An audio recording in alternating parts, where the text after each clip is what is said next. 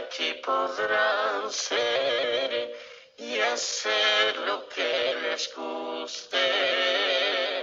Y verán los pajarillos trinar y serán tan alegres como un manantial.